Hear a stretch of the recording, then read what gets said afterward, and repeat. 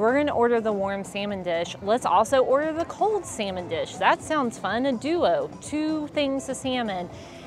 And then immediately we got it and I said, no, I, I do not know about this. So I'm gonna take one for the team. I'm gonna try the cold salmon first. You taste smoked salmon and then you're just like, what is this gelatin substance? I'm honest, I'm gonna, not gonna lie to you, as I'm talking about it, I'm trying not to gag because I think it is one of the most disgusting things I've ever had in my entire life.